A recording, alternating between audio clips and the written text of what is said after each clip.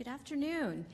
It's my pleasure to welcome you to the 19th Secretary of State's Awards for Corporate Excellence. I'm Manisha Singh, the Assistant Secretary for the Bureau of Economic and Business Affairs. Deputy Secretary Sullivan wanted to be here today, but he sends his regrets because unfortunately he got called to a White House meeting, but he wanted me to congratulate the winners on his behalf. I'd also like to recognize several ambassadors who have joined us here today.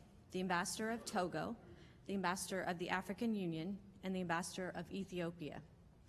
I'd also like to recognize U.S. Ambassador to Togo David Gilmour and Bureau of African Affairs Ambassador Stephanie Sullivan and Ambassador Matt Harrington. We're very privileged to have Undersecretary David Hale here to help us recognize the winners and present the actual awards to them. So without further ado, I thought we would go ahead and present the awards to this year's wonderful winners.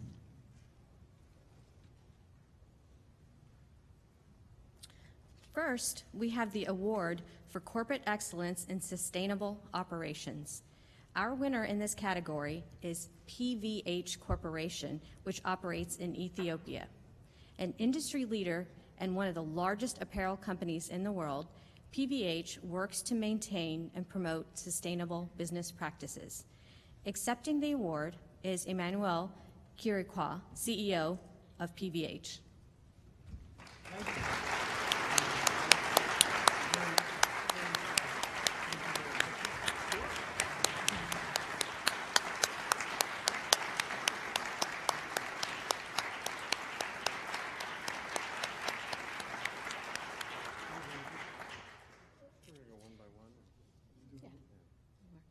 And our, our next category is Women's Economic Empowerment.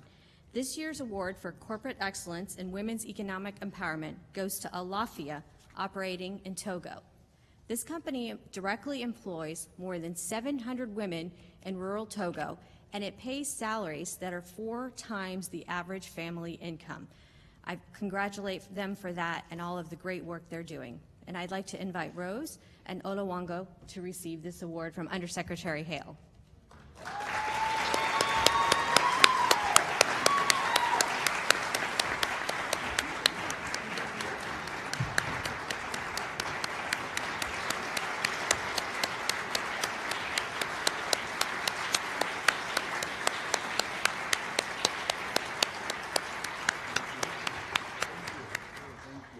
And I want to thank Undersecretary Hale very much for helping us to present these awards to these great companies. And I know you have a very busy schedule, so unfortunately he has to leave. But thank you again, Undersecretary Hale, for being here.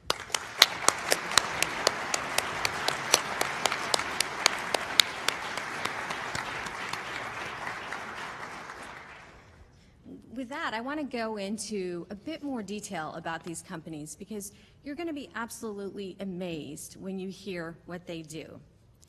First, about PVH Corporation.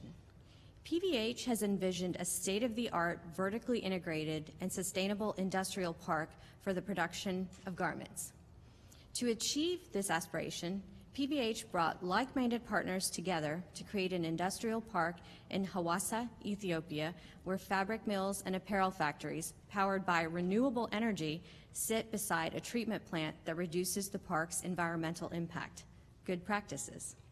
Employing more than 15,000 workers, of which 88% are women, this park is a model of bilateral government and business cooperation between the United States and Ethiopia. The ultimate goal of PVH's model industrial park is to provide a better future not only for the workers and their families, but also to inspire responsible industrialization across Ethiopia for the betterment of the entire population and to produce a new market for U.S. products benefiting workers here at home. It's a win-win for us all. Next, I want to tell you a little bit more about Alaffia. Alaffia's story begins in rural Togo between an American Peace Corps volunteer, Rose, and a Togolese local, Olowo-n'djo. This story illustrates the power of cross-cultural understanding and innovative entrepreneurship. Founded as a social enterprise, Alaffia alleviates poverty and advances women's equality through fair trade and indigenous resources from Africa, from West Africa to produce health and beauty products for the global market. The company also contracts with more than 14,000 women as suppliers. So it's not only the women that they employ directly, but their supply chain effects that provide a platform for women's economic empowerment. Alaffia dedicates 15% of its fair trade sales to community projects that improve maternal and child health, promote education, and better protect the environment in Togo. I'd also like to tell you a little bit more about the Secretary's Award for Corporate Excellence. We've been recognizing outstanding companies since 1999. These companies uphold high standards and represent American values in the way they do business. One of the reasons we wanted to recognize these two companies here today was for the great work that they do, but also to inspire other companies. We hope that other companies will look at their model and say, we should be doing that as well.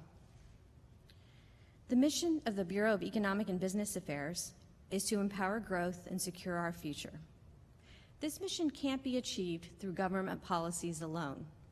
Companies and workers play an integral role and produce growth in local economies here in America and abroad.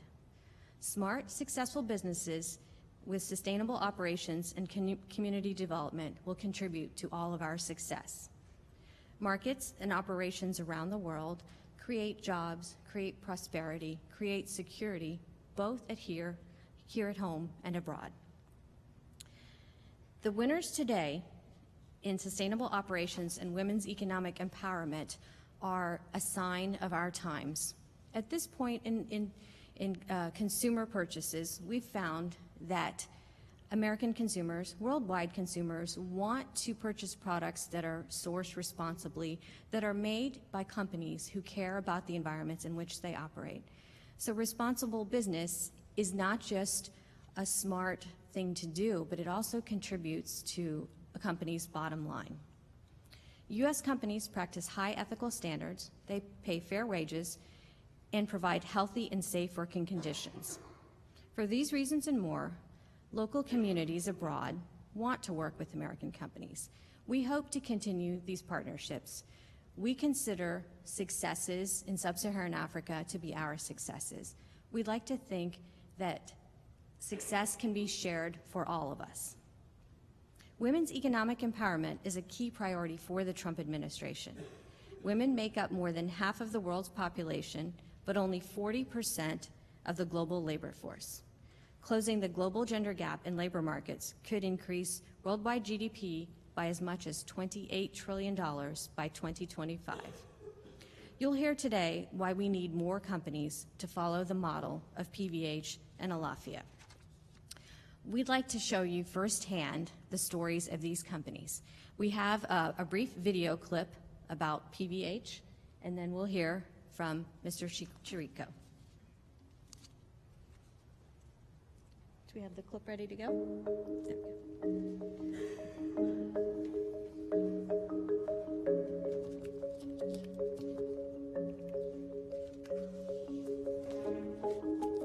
The vision for me was a stretch.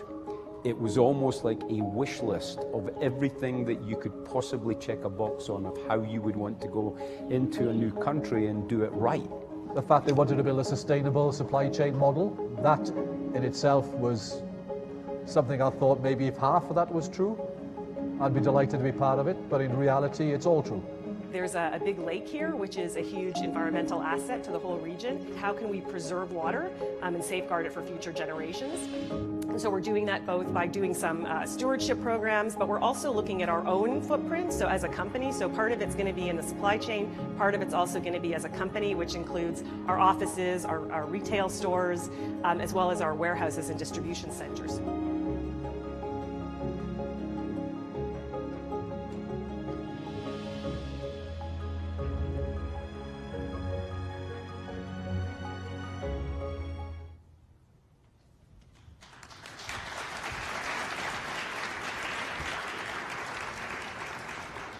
Thank you. Thank you very much. I really want to thank everyone at the State Department uh, for, the, for this prestigious award, particularly Undersecretary uh, David Hale, who took time out of his schedule. He was running around like crazy today, so we appreciate that he came by to, to, to present the awards.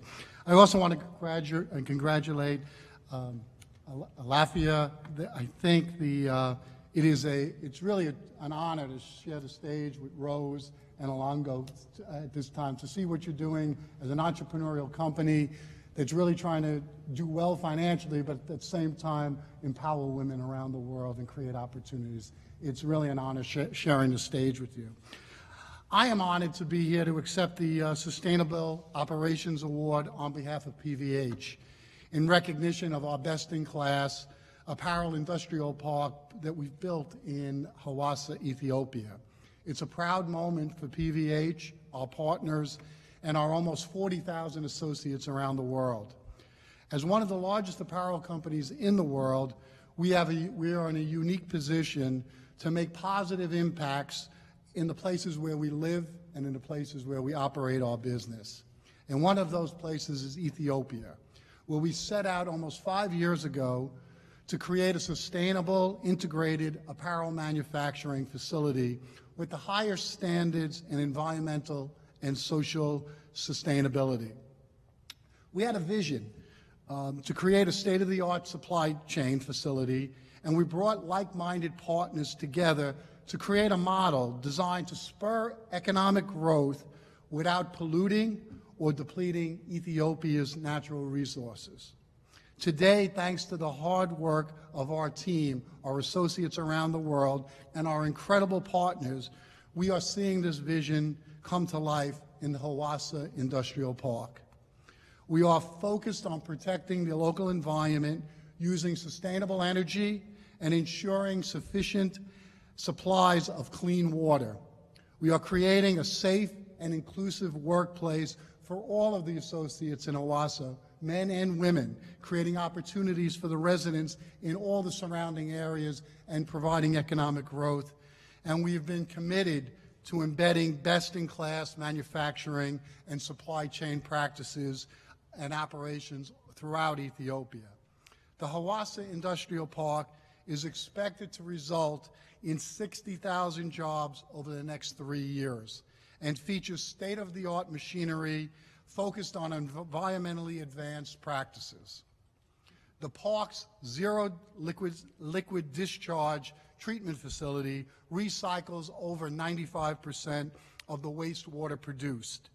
This helps preser- preserve Lake Hawassa, which serves as the community's water supply and is the center of the local ecosystem.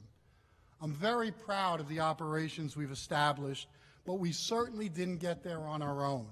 None of it would have been possible without the commitment and collaboration of our partners and the unwavering support throughout this journey. Our supply partners, the NGOs that worked with us, government representatives, both here in the United States and in Ethiopia, that has enabled the 10-year extension of the AGOA agreement, has really been a benefit for us and has allowed us to make multi-million dollar investments in Ethiopia, as well as the support of our U.S. Embassy in, in Ethiopia, which has really helped us work through the issues that come up on the ground there. And I also want to thank our PVH associates around the world, our PVH associates in our supply chain, and in particular, our Chief Supply Chain Officer, Bill McGrath, whose vision was captured by this, by, by this project. He was the leader within PVH. He was the one who sold the project at the board of directors level, presented it with such a passion that clearly it came through, and we knew we had to be in Ethiopia and make a commitment to it. He played an intricate role, and it wouldn't have happened without his dedication and his vision. This, is an, this honor is a testament to our company's unwavering commitment to power industry change the right way. On behalf of our almost 40,000 associates around the world, I'm very proud to accept this ACE award. Thank you all very much.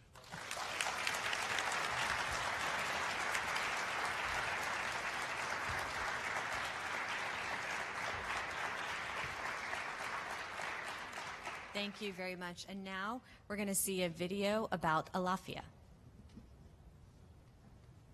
Alaffia aims to alleviate poverty and promote gender equality through the fair trade of sustainable resources in West Africa. Private enterprise alleviates poverty. using a business to make money to help other people. Alaffia has provided over 7,000 bikes to students in Togo. We have a dropout rate that's over 50% if a girl doesn't have a bike, but our retention rate is closer to 90% if she gets a bike. The biggest cause of mortality in childbirth is female genital mutilation. And we've actually paid for uh, all the pre and postnatal care for over 4,000 women and their babies in Togo. Alaffia provides funding for medical care for these women, full prenatal care, delivery care, any emergencies that come up. And it makes the difference between basically two deaths and two lives because not only do the mothers die, but the babies do too. We believe that every human being deserves to have an opportunity. In the past 14 years, the change that's very clear to me is just the well-being of the woman. They just look healthy. We're just touching the surface. There's so much more to be done.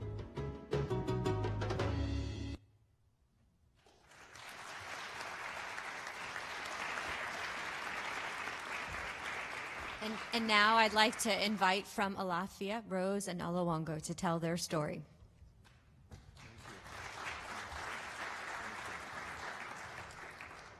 Thank The, we have to tell the State Department uh, when people are married, they need uh, two microphones because they, because they share everything. Um, the uh, I, was I was told in the State Department you to be everything has to be right on time, and um, not to go off off script, not to go off tangent, and but I feel quite safe. I have my wife here. I can go off tangent. I'll be I'll be quite protected. Um, I, as, as you can tell, this is a, a bit of emotional evening for us. Um, I believe it's a big day for Togo. It's a big day for West Africa in general. Uh, for me, it's more than a big day because it's a way to indicate that you can grow up in, in a very small room and the State Department will allow you in a big room. Uh, and I hope that young people around West Africa can see that hope, uh, that things can be better. But it's also a big day for our people in Washington State. Uh, we, a great team there is, is watching this very closely, and they're quite proud that we get to come here today. Well, first, uh, I would like to uh, thank uh, Undersecretary Hall, and most of the biggest thing is Assistant Secretary Singh here today. We we're quite being here and being given this honor means a lot to us. And not only that, to have a assistant secretary that greatly care about women's issues, it, it means a great deal to us. And of course, our new friends. It is our new friends. We, we have already described how we're going to introduce new lines of product already. yes. After all, I didn't think Washington was just a great place, but it is a great place. Uh, it is. It is. Um, well, we're quite, quite an honor to be among of you, and thank you for the work that you're doing in East Africa. Thank you. Now, I, I want to recognize Ambassador David Gilmour, who is among us here and have come all the way back from Togo. And Ambassador Gilmour, without going too much and too much to say, uh, what he has done for us, being proactive in, in, in the policies in Togo, and being our friend and caring about the quality of women in the past three years have allowed us to have a secure supply chain which help us to expand our workforce in Washington State. Thank you, Ambassador Gilmour, and thank you for nominating us. Thank you. And of course, I would like to thank Ambassador Hegbe, Ambassador of Togo, being here. Thank you for joining us this evening as well. I will spend most of the few minutes or few seconds I may have left just thanking folks. In life, we have to be grateful. We do what we do because we're grateful. And I'm, I'm sure to tell you, you may wonder, being a man and stand before you today, talk about economic empowerment of women. But yeah, I'm a man. And I will tell you, it's not by accident. There are three women in my life that have made these possible. And clearly, one of them is my wife and partner. Uh, from, and these, these are my opportunity to thank the Peace Corps services.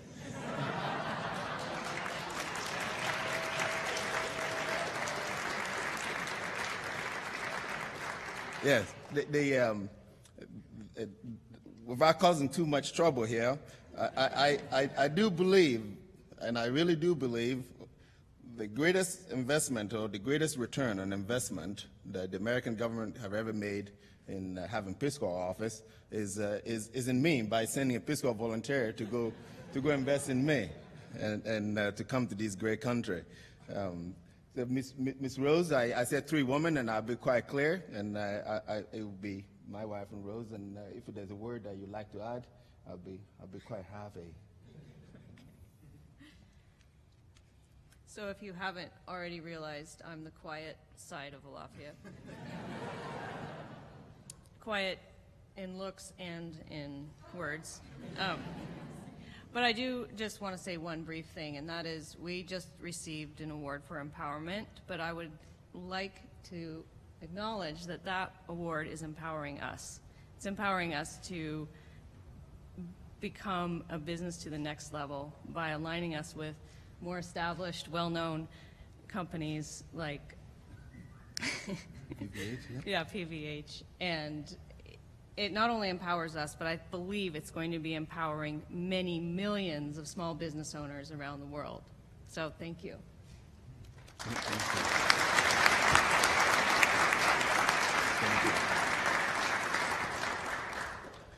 So back to the three women that helped me stand here.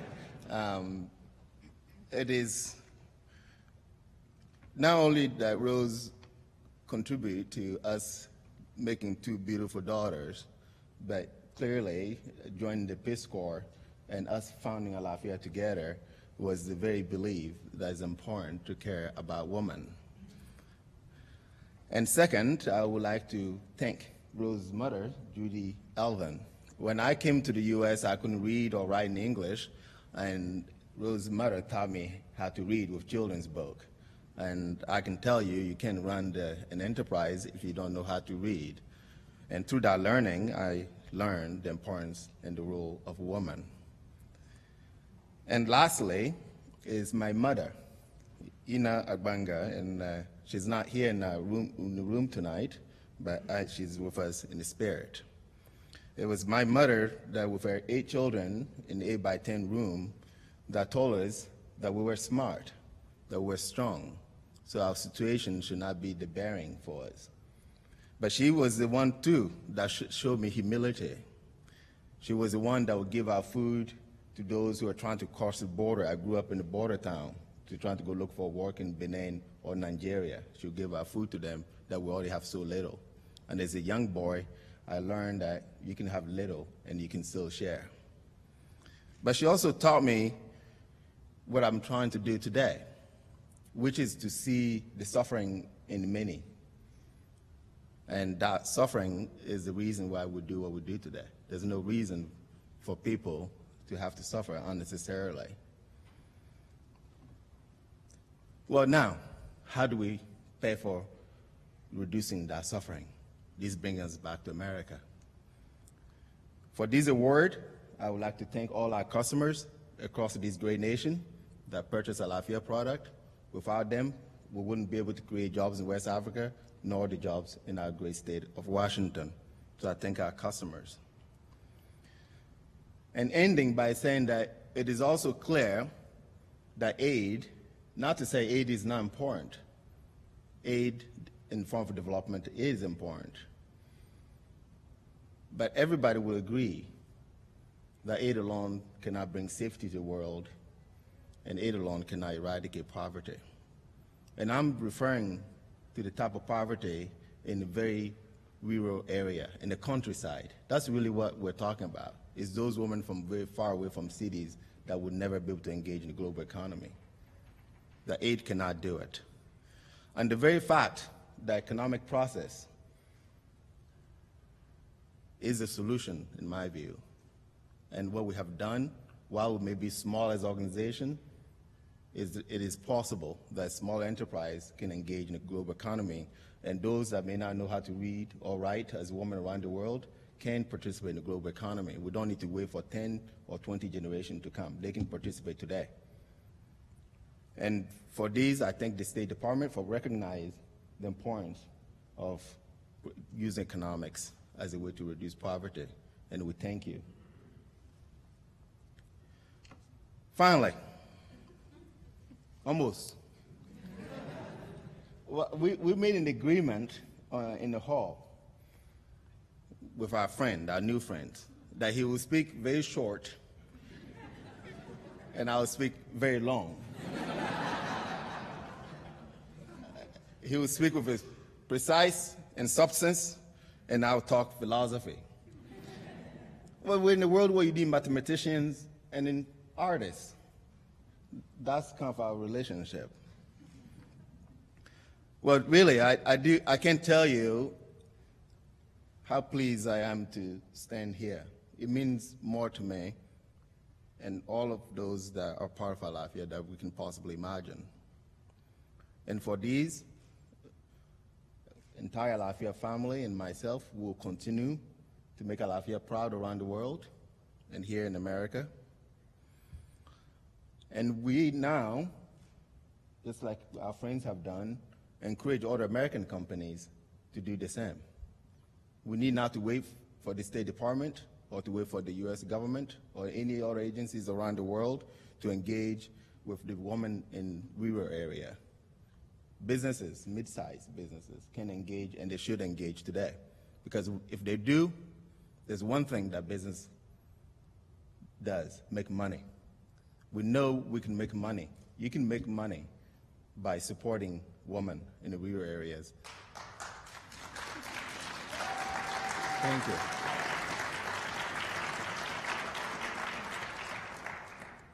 Thank, thank you. And I then to reduce poverty. And I ask myself, what is there to be a human being if we can't contribute to another fellow being? And the opportunity that Alaffia has given me, the opportunity that you encourage us tonight, it means I am not only a human being, but you give me the ability to continue to contribute. And I, I think it's the greatest honor that you could have in life to contribute to others and to do it right. So I end here by thanking all of you for being here tonight. And I can assure you it is the beginning. We have many more millions, if not billions, of people in the countryside, and they too deserve to have access to the global economy. And I, I hope and I believe within 150 years, the world will be a safe place because there's economic activities for all of us. So thank you.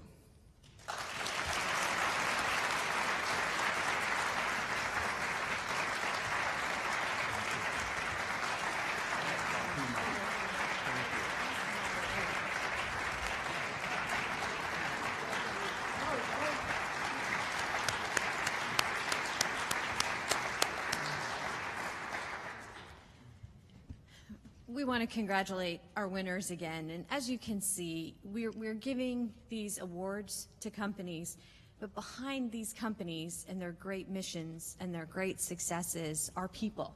These are, these are people who care about these issues and who are trying very hard to incorporate all of these practices into their uh, companies worldwide. I want to thank you all for being here and for caring about these issues as well it's, it's important that, as Alongo said, that this is a beginning, you know, that we take this, and as Rose said, it, we, we want to empower these companies to do more. We want other companies to look at them and say, this is how we should be. At some point, we don't want to give an award recognizing women's economic empowerment. I don't want it to just be, you know, one or two companies or 10 companies that we recognize. We want it to be something that everyone does. It's, there's no need to give an award because women's empowerment is just a part of good corporate practice. Um, we want to see that world, and we think that these companies are the ones who are making that possible. So I want to I want to thank the companies, but I want to thank them as individuals, as people, for doing what they do. I want to thank you all for being here, and just a quick couple more thank yous to the teams in EB, the EPPD team who's here recording and taking photographs, to our commercial and business affairs team, um, and to the Africa Bureau, the AF Bureau, who has been um, an invaluable partner for, for us on this. We appreciate all of your time, all of your assistance, and with that, I want to invite everyone for celebratory drinks over here in the, the Jefferson Room, and I hope that you will have time to talk to our corporate winners. I know there's a, there's a large contingent here from PVH, so I hope you will have a chance to talk to all of them as well. Thank you all so much for being here today.